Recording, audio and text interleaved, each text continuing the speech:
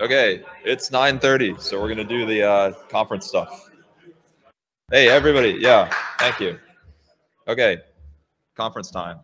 So, intro slides. Uh, I think I managed to screw them up slightly this year, so I just have this one slide.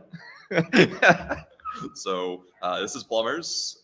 Most people have been to Plumbers before. If you haven't been to Plumbers before, very discussion oriented conference. So you're expected to talk to folks and whatnot, not have a ton of slides and give a presentation, have actual discussions and such. Um, so we'll try to enforce that. There's a toss around microphone in the back. And aside from that, just try not to give a talk. Uh, or try not to be caught giving a talk. I guess maybe the way I say it, you have to give a talk.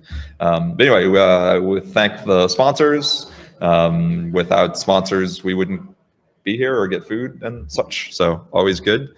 Um, aside from that, uh, we have a code of conduct. Uh, it's not on the slide this year, so just don't harass people. I kind of never had to read it, so generally don't have problems. Should be pretty straightforward.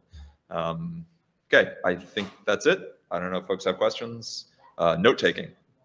We're supposed to take notes. There's a shared notes thing in Matrix, BBB, whatnot. So please use that. Sometimes it blows up, and if it does, I was told to just put things in a text file and then paste it in. So yeah, that's always how I take notes. So I've never figured out the computers. Yeah. So, uh, but at least I'll have a couple people take notes. There's usually a couple people who manage to do so. Um, uh, those are good for later and hallway tracks and whatnot. So cool. I think that is it on the intro side of things. Unless folks have questions or there's something else on these other slides. I think these are the slides from before the conference.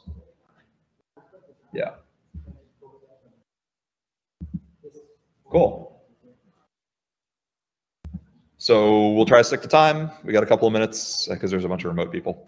Um, so next talk starts in three minutes.